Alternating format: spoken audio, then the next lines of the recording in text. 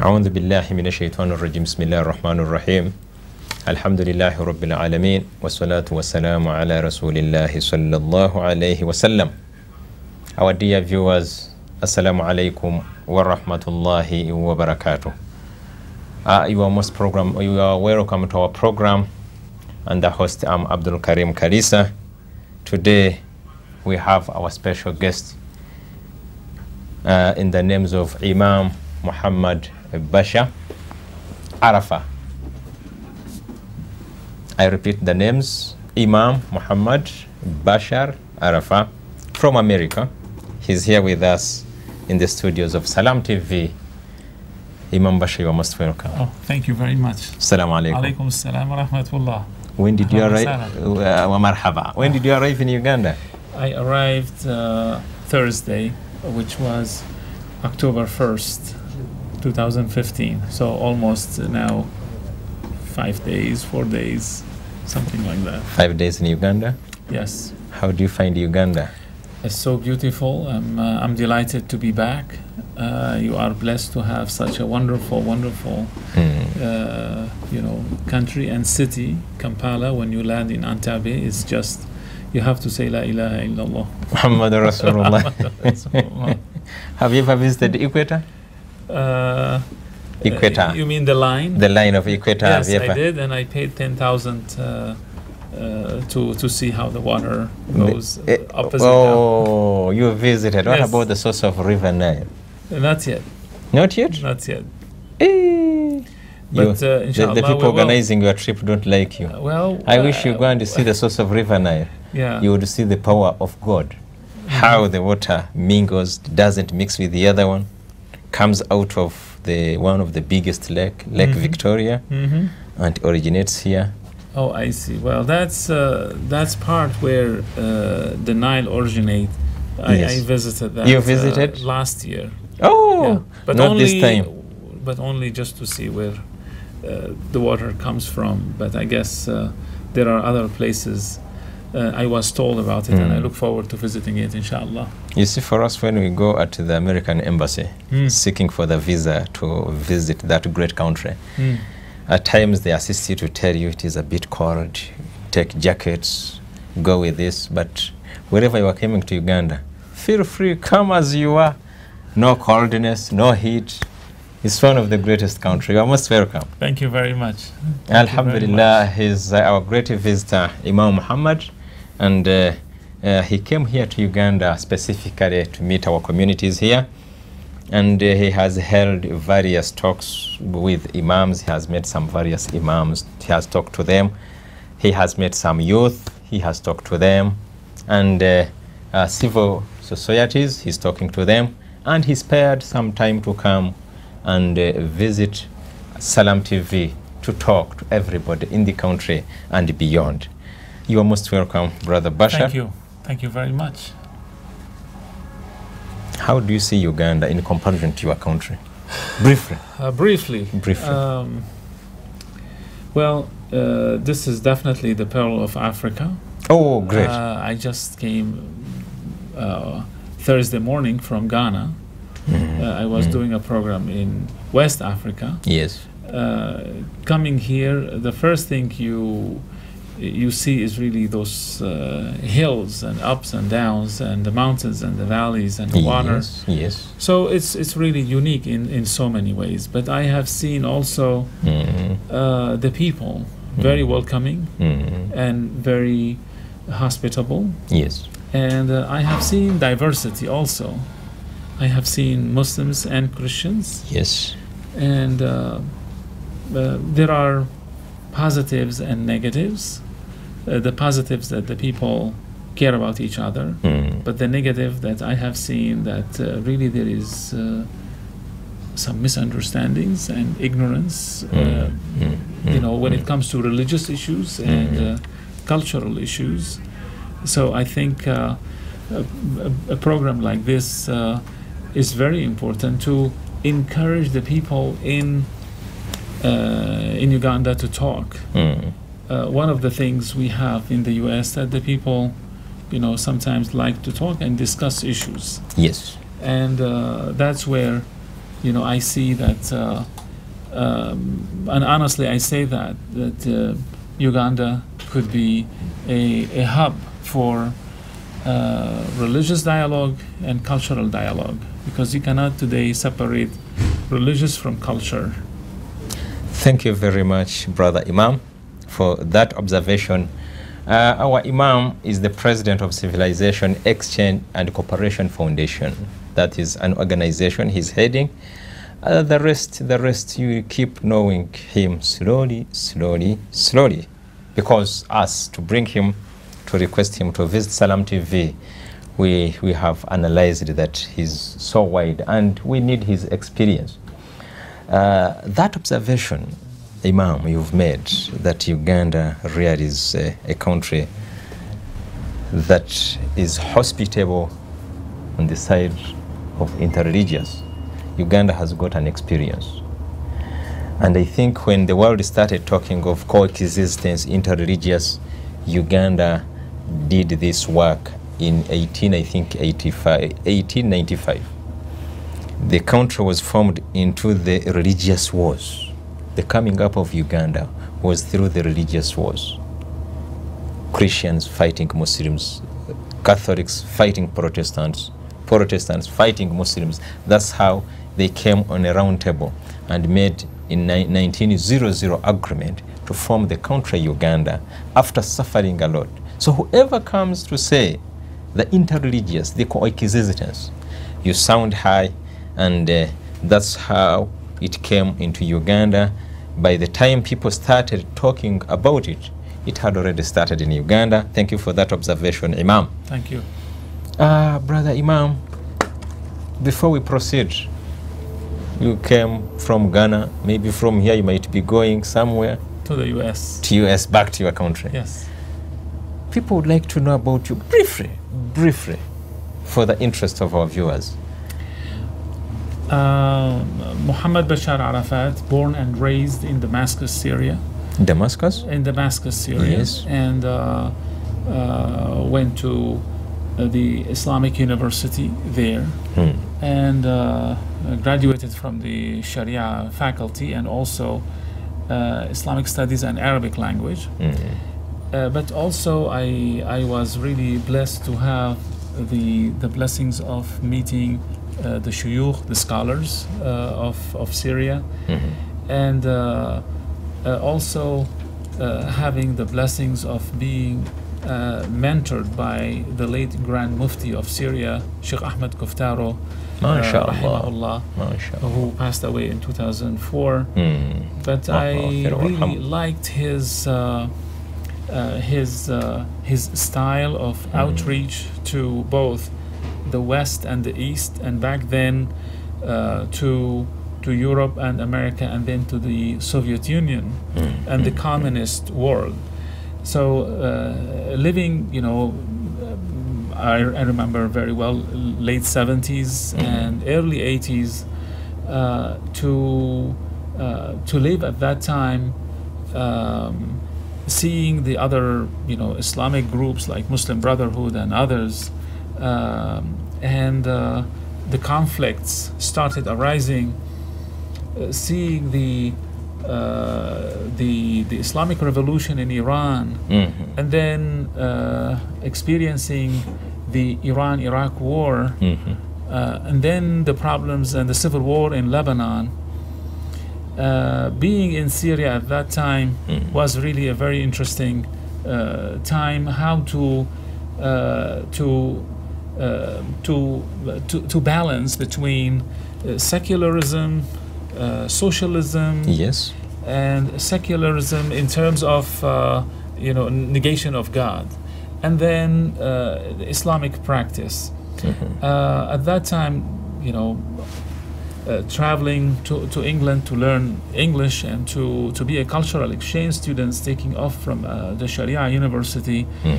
uh, seeing the Western world, the misunderstanding toward Islam and Muslims, Mhm. and here I'm hearing from my sheikh how the people are searching really seriously about the true message of Islam and how the imams don't speak English and don't understand the culture and the uh, uh, the the thinking process of Mm. the Europeans versus the Americans, Yes. I I really started you know realizing more and more, and especially after I was invited to come to the United States as imam in 1989, Yes. that we have a serious problem as Muslims, Mhm. and that is Mhm. our religious institutions in the 21st century Mhm. in the age of globalization, which was coming up in the 80s and Mm. then the 90s, that our religious institutions are really still behind in terms of teaching the imams and the graduates how the West think versus how the East think. Uh, because to understand the thinking process Yes. before you talk to the person, that's very important Yes. extremely important and then uh, to to understand the the culture in America uh, for example Mm. the north of America is different than the south in terms True. of still remnants of the civil war True. and until now we have that now if you want to be an imam in America I did not take along with my sharia subjects Mm. one course how to be imam in America if you happen to be imam in America Mm.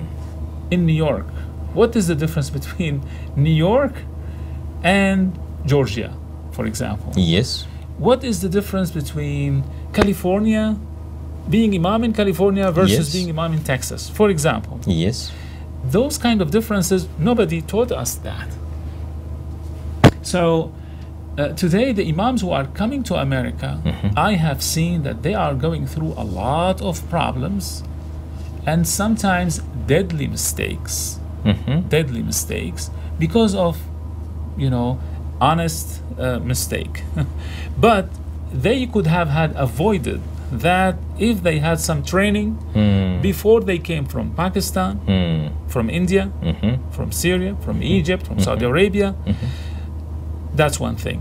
The other thing also, after living in America for the first my first 10 years Yes. and seeing those who becoming Muslims and they want to study Islam and they go and they study in Saudi Arabia, they come back.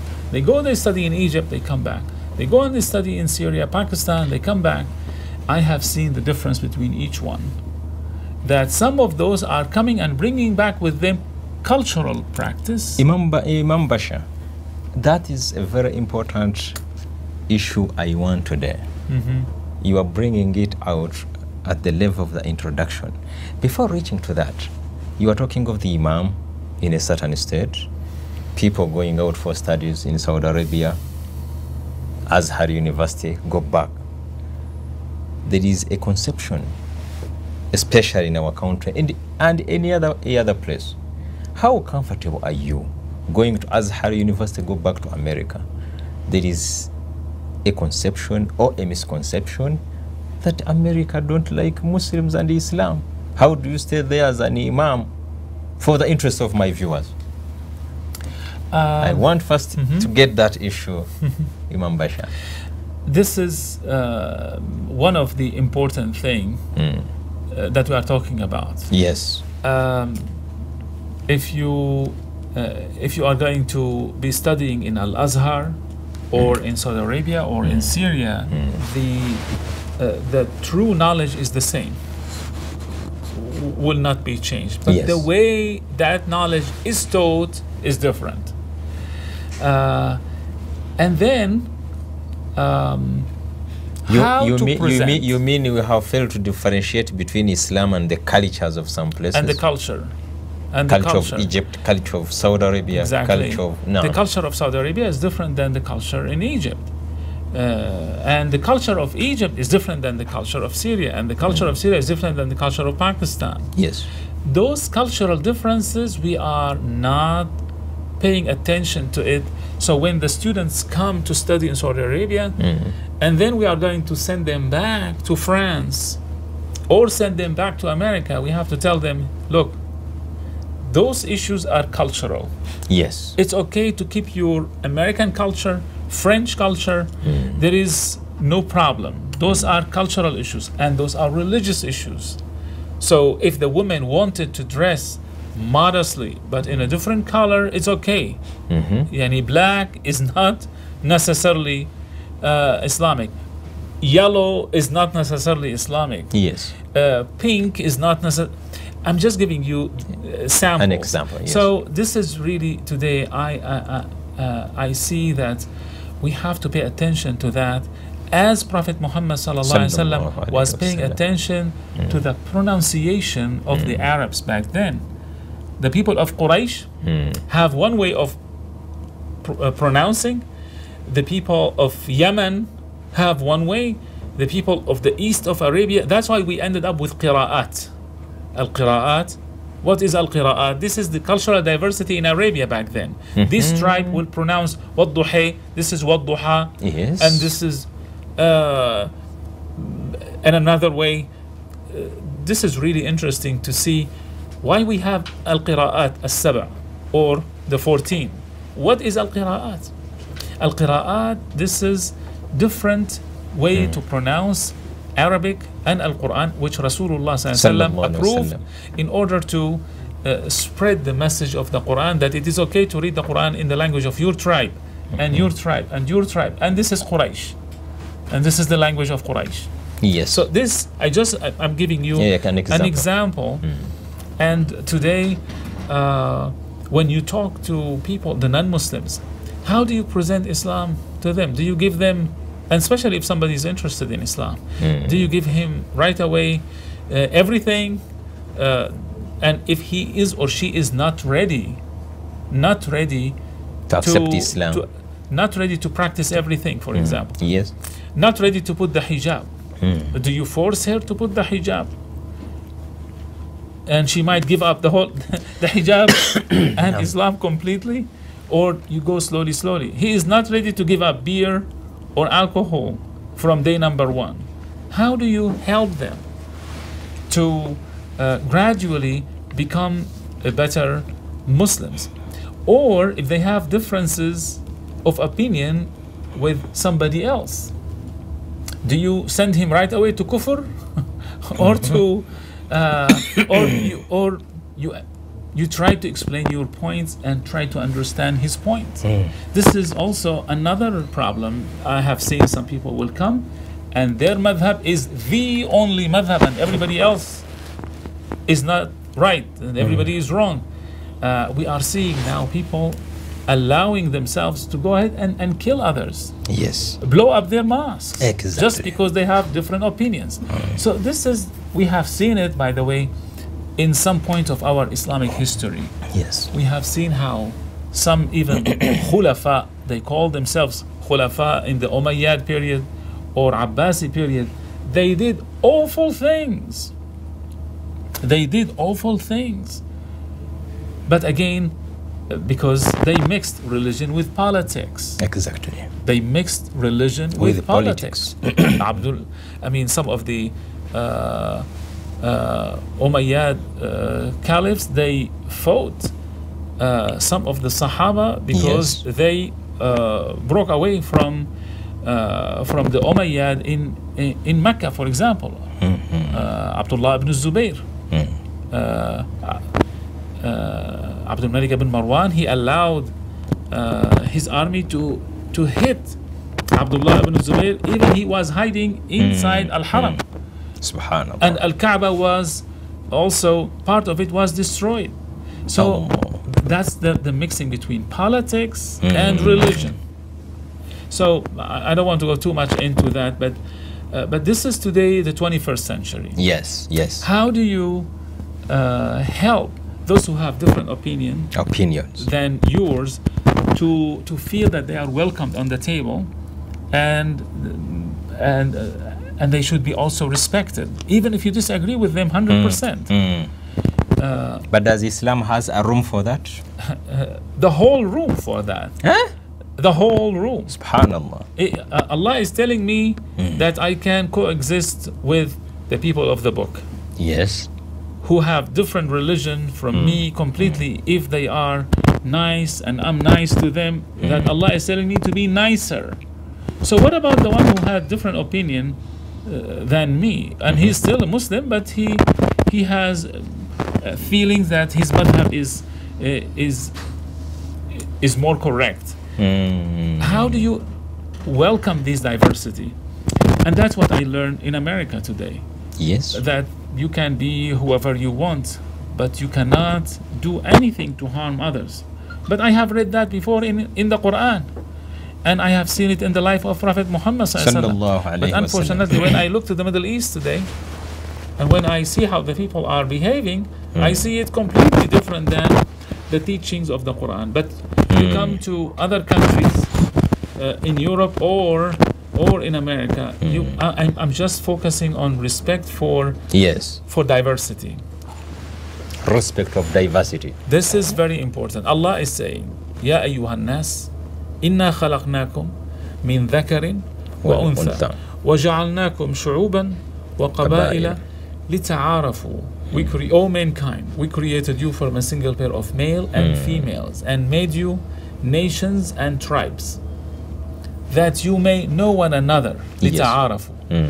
And in another verse, Allah says, وَمِنْ آيَاتِهِ اخْتِلَافُ أَلْسِنَتِكُمْ وَأَلْوَانِكُم One of the greatness of Allah, that you are different by colors and by tongues and languages and behavior. So that also going to lead to differences by the way you think and your opinions. نعم. So today, one of the things we really have to pay attention to it, the respect to one another. Respect Even one another. even if you are different than me, Mm, mm, even if you are different, and not only to respect me from outside, to respect me also here in your heart. And that's another level we don't talk about at all. Uh, we just talk about that you cannot touch somebody. But if you make ghiba, you know, backbiting, Yes. when you are a true believer, you try to, you know, monitor also your heart mm. from making ghiba. There is ghiba with the tongue, and there is also another kind of ghiba mm. in your heart when you look down at somebody. Mm. So that's another level which you have to aspire to that. Imam, thank you very much. Uh, from what you've talked and uh, how you see things, uh, people believe uh, that uh, I'm now confident talking to you. I have seen you being raised in Syria, going through Europe. You are now in America. I feel that at least you have the globe at hand. Uh, people think that uh, the Western world see Islam as a threat. Have you heard about it? Have you contemplated about it? That's uh, something that is on a table, even being uttered by some important personalities. Imam like you come at the pulpit and say the Western world see Islam as a threat. What does that Um, one mean? I just want you to know, in order to understand this, you have to go back 100 years and 200 years and to the colonization era. Yes. Uh, because before that, there was the Crusades. And always there has been interaction Yes. and conflicts uh, and domination.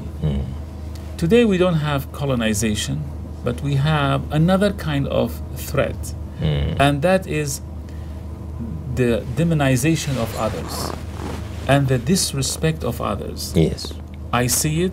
It's practiced by uh, here and prax- practiced by here, practiced by some Muslims and practiced by some Christians. And uh, this is a remnant of of other problems in in the past. Yes. Some people they are still, uh, you know. For example, go to Europe. You will see the the feelings toward Muslims worse than in in America, because in Europe they still you know they still remember uh, the Ottomans, for example, uh, having uh, uh, the uh, the siege against Vienna. Yeah, and the last one was 1683. So uh, the people in Spain, they, I mean, they still say to say that to their kids, how also the Muslims used to be here in Cordoba, and that was almost 500 years. Uh, the people in America who came and they left Europe and they left the religious wars and they came, they don't have that as much as the Europeans have it. But still, now we have people who are truly trying to raise these issues all the time by, you know, uh, in a systemic way to present me as a terrorist, present me as a extremist. And unfortunately, when we are seeing people like Qaeda, Boko Haram, Shabab, and others, and, and Daesh, who are doing things like that, that is affirming to the rest of the people in Europe and in America uh, that, you see, that is Islam. Yes. And those are the Muslims. So what do you expect? And this is add more challenge for me and others who are trying to reach out. I have to empower myself also with media, mm. with knowledge, mm. in order to explain to the people uh, the true message of, of Islam. And mm. now, walillahi alhamd, we are in a better situation than before. Today, there is no more domination, you know, by big media powers. There is also now the people have access to, uh, you know, Facebook, and they can make their own small videos. That's true. And things are changing. Things are changing. The people are finding by, by themselves that really Islam is religion of, of peace and love and harmony. But we are facing another challenge, and that is extremism, radicalism, people who uh, who want to take the law by their hand and they want just to go and, and kill and, and blow up. And of course, there are, I mean, people who are going to uh, bring this and repeat it. Day in and day out. That this is Islam, this is Islam, this is Islam. Mm-hmm. So when you are showing somebody these kind of images 24 hours every day, even if you are completely different, but indirectly they are going to have that. I said in America, mm-hmm. almost every day, mm-hmm.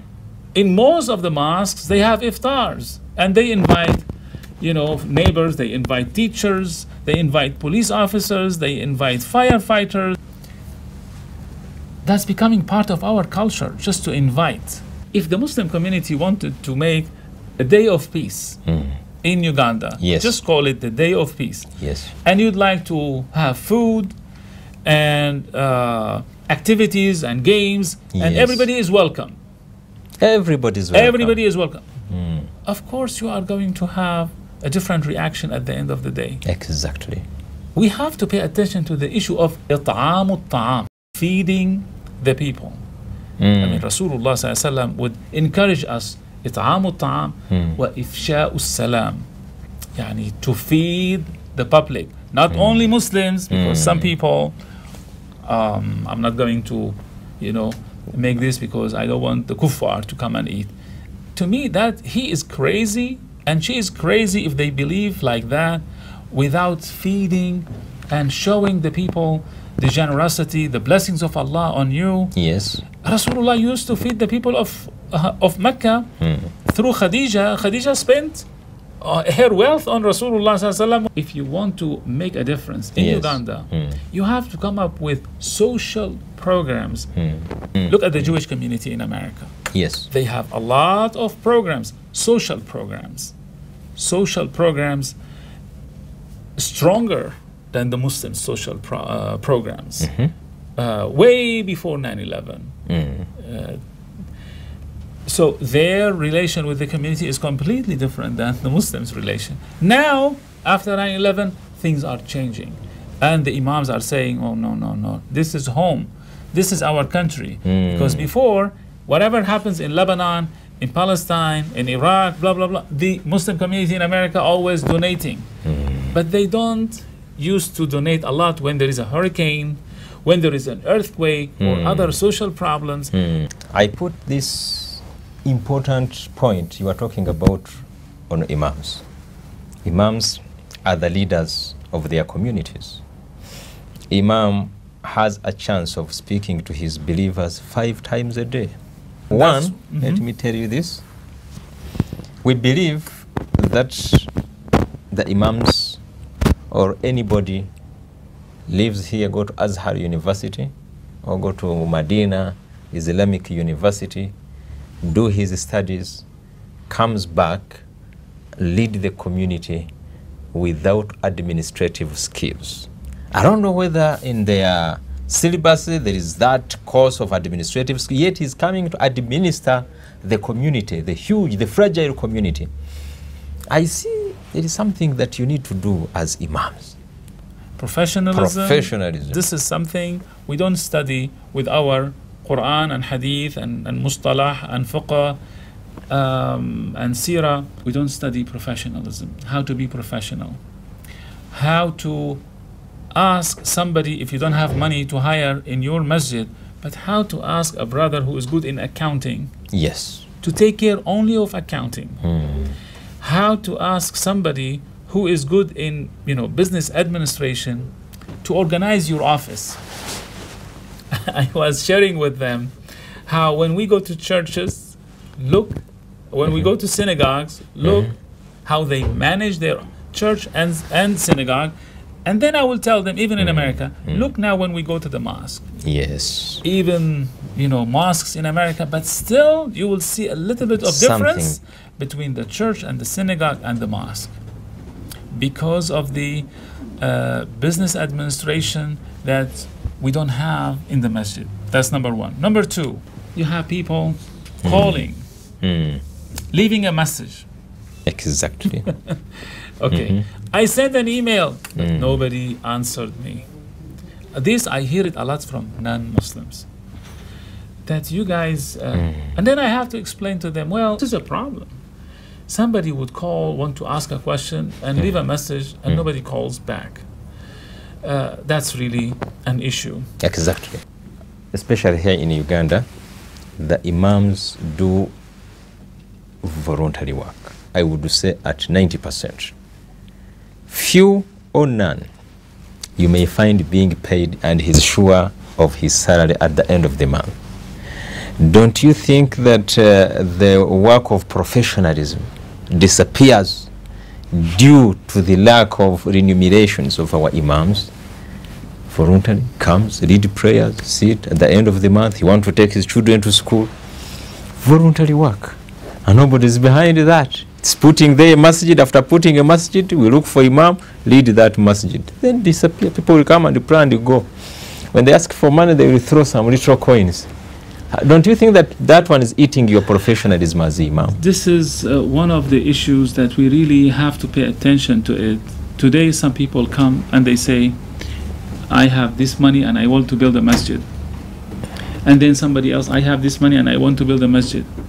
Okay, and the others, we are building a lot of masajids and that's it. We are closed even here in Uganda. you find in a place there are three masjid, masajids and We spend on the masjid sometimes, let's say those big mas- masajid, Mm.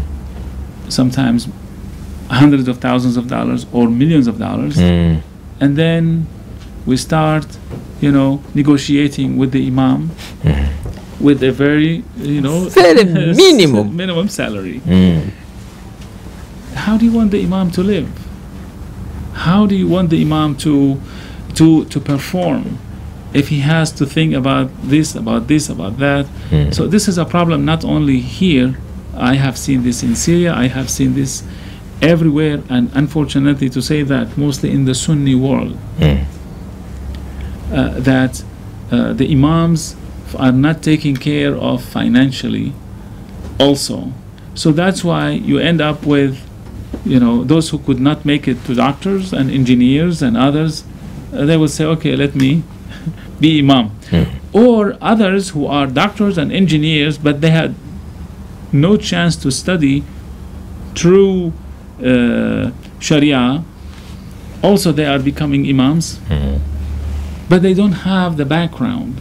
So we are really ought to look into this and empower the uh, the position of the imam and and listen to their needs. I mean, when I was in Belgium and I, we were doing imams training, the imams will tell me, "Look, I'm busy the whole time, Yes. and I have only one day off, and in that day I need to take care of my family, of my wife, the kids, and I have no time to learn Flemish. I mean, that's the other uh, local language over there. Mm. I don't have time to learn, you know, German or English. So this is this is another issue when you talk about imams in Europe or imams in Mm. in America. Mm. So really, if we want to make a change, we have to look at the uh, position of imams more seriously and see what he needs to empower him in order to have a better community.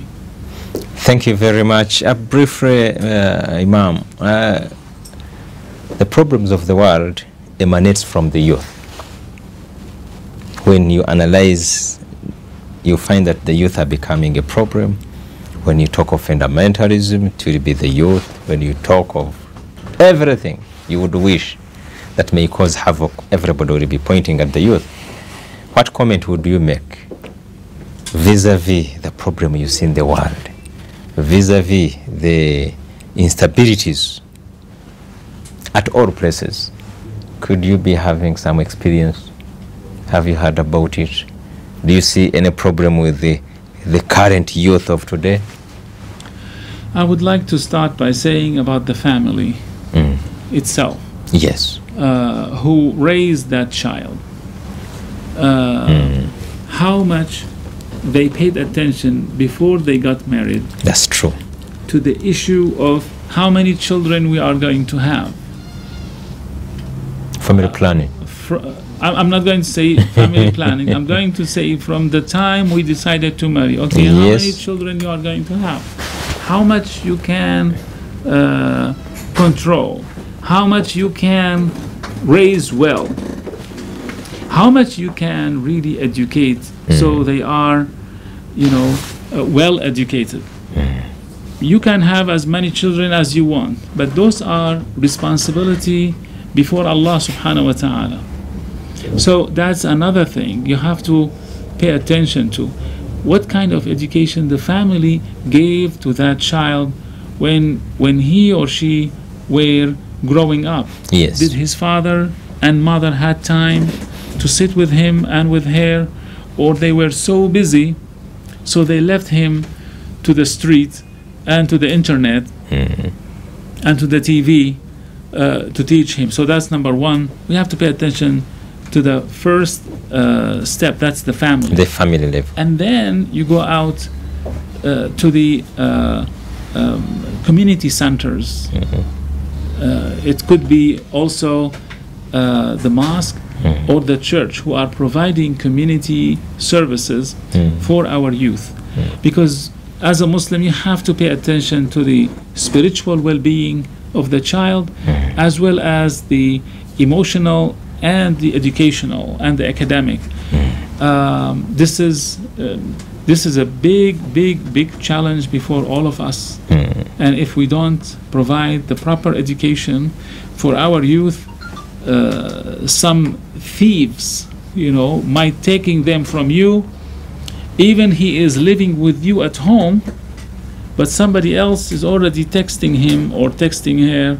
Mm. Somebody else is filling their time while you are have you know no time to to see exactly what is bothering Mhm. him or her. Mm. So that's uh, uh, you know where also the, the imams and, and the masjid who have youth programs uh, are you know so much to be uh, thanked for that because this is uh, the the future of the whole community Mm. and again may Allah help the imams to to deal with the youth in a way that is uh, acceptable for them uh, in a way that is uh, uh, reasonable and not to push them away uh, from the mosque and from the religion completely because you were too harsh so they will leave from here and they go somewhere else uh, I mean, this is an issue always we face in America, not only with the Muslim community, Mhm. also with the non-Muslim community. Yes, thank you very much. Lastly, our Islamic community here in Uganda is under one umbrella Uganda Muslim Supreme Council. It was formed in 1972. in America do you have such an umbrella that brings together all Muslims in America? We have, it's called Islamic Society of North America. Mm. And also there is another umbrella, it's called Islamic Circle of North America. Uh, even though it's interesting to see Mhm. that this has mm, predominantly one culture and the Mhm. other one is predominantly another culture. Mhm. Uh, but mostly you have the Islamic Society of North America, we call it ISNA. Mm. In their conferences, you have close to 40,000 uh, people. They come to their annual conferences. ICNA, Mhm. you will have close to 20, 25,000. Mm. But there are, uh, you know, other organizations that focusing on, let, for example, civil rights issues. There are Yes. others. There are other focusing on uh, public relations. uh, Yes. And also, there are other organizations focusing on medical issues for all the doctors uh, all over the United States and Canada. Mm.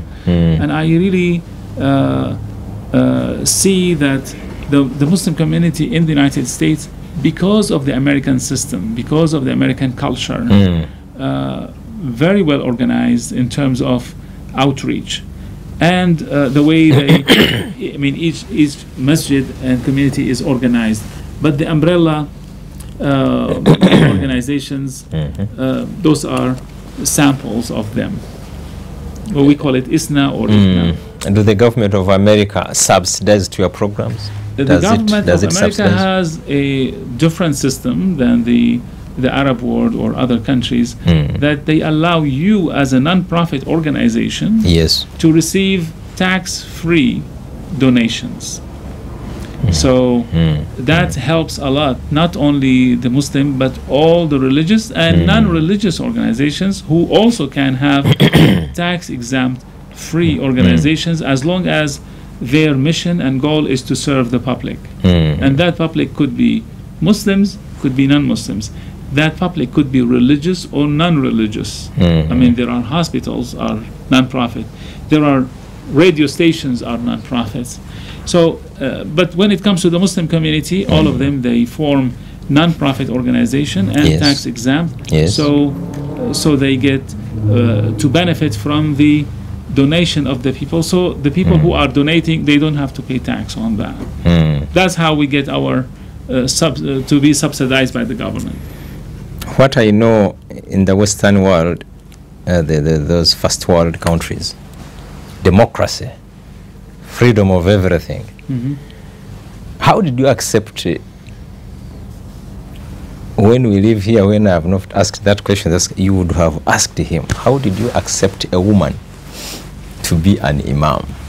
We see it on YouTube. We see. I don't know whether it is film for us. They bring it here. We think that she's an imam. How, how, how did you In America. in America how did you sit and accept that Dr. Wadud Dr. who Uh, Amina Wadud. Amina Wadud Amina Wadud, like anybody else, Mm. and she's not the first one, and she's not the last one. People are free to do whatever they want, but is it uh, according to the uh, Sunnah here in Uganda here in Uganda they cut her No, no, go no, on no, no. Uh, we should not. I mean, do something like that. People are free to express their to views. express their views now I mean, now in Los Angeles we have a special mosque only for women. I don't know if you have heard about that. special mosque Only for women. That They one is okay. because they got sick and tired from the men they are talking about themselves who they, are mistreating them. Mm. Of course, that's their opinion. Is it uh, if this is Islamic or not? That's another story. Mm. I mean, in America, people are free to do whatever they want. But is it right or, or, or wrong? That's that's another story. But we grew up to, you know, Mm. to believe that you have the right to do whatever you want. But is it right or wrong? That's another another story. Uh, we have Mm. the government, you know, will not tell anybody if he is with a woman, you know, Mm. um, until the woman complain or the man complain that they hurt each other. Then the police will come. But the police will not come until somebody walking with a woman. Who is she? Is she your wife? Is she your sister? they not ask that that's unless somebody attacked somebody then the police will will, will get involved. Mm. But the people are free to do whatever they want until you break the law. Then uh, the the police will interfere. And this is one of the things the imams uh, who Mm. came from Uganda and, and Zanzibar, when I took them to meet with the community relation with the police department in Baltimore, Yes. uh, the lady from from Uganda, uh, actually I think from Kampala, she Mm. was amazed to see that, wow, you are allowed to do all of this and the police will not uh, get involved. If you want to have a conference, you know, ten thousand people, twenty thousand, they said no, unless if somebody called and complained that there is A problem. problem with the traffic. Mm. Uh, But as long as you don't break the law, Mm. go do whatever you want to do. Mm. Is it halal or haram? Is it right or wrong? That's another question. That's another story. A Mm. woman want to lead the prayer. That's uh, in America. They say that's her right. But is it Islamically uh, sanctioned or not? That's another story. Yes. Uh, do you have uh, uh, a committee of scholars in America to deal we with, have- to deal with such issues?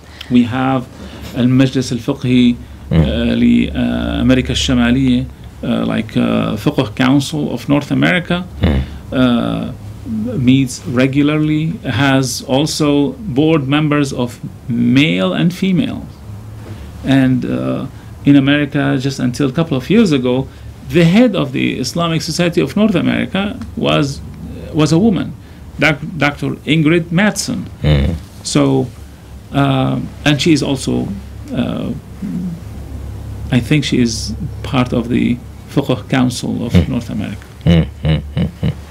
Uh, thank you very much. Uh, we still have a few minutes, like two minutes, to wind up our program. Could you be having any message to Ugandans?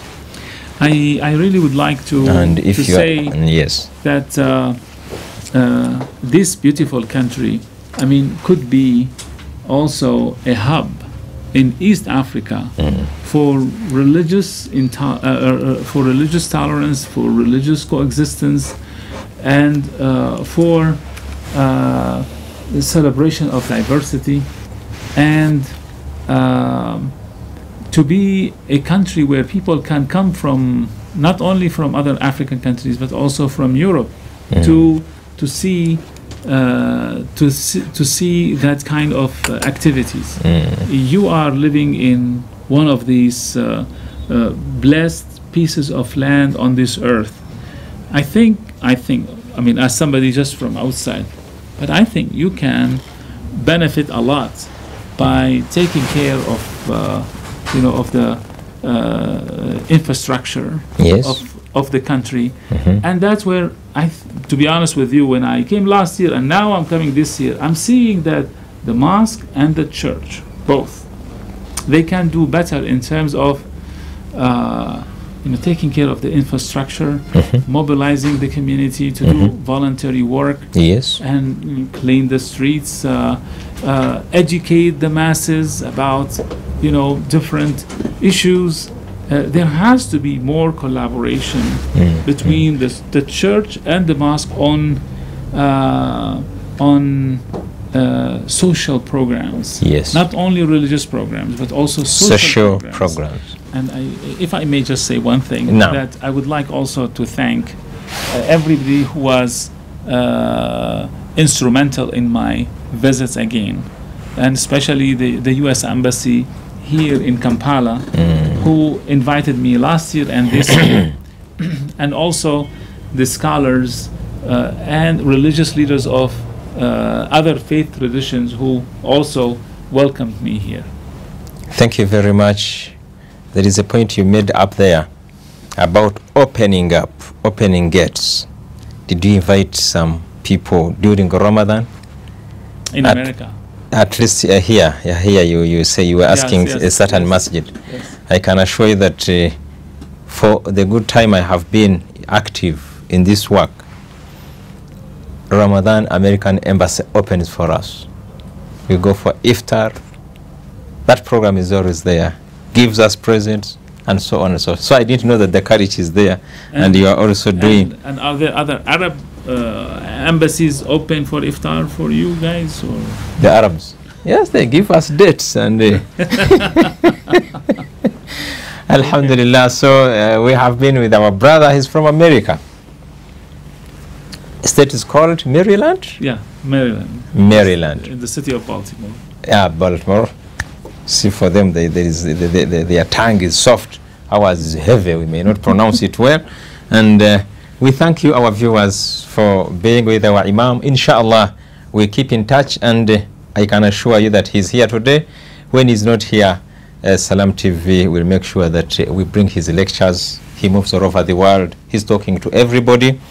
Uh, and uh, we thank the American Embassy for really giving us access to Imam to come and talk to you. Thank you very much. Thank you. Thank you very much. Assalamu alaikum. Alaikum salam wa rahmatullah. Thank you for having me. Thank you so much.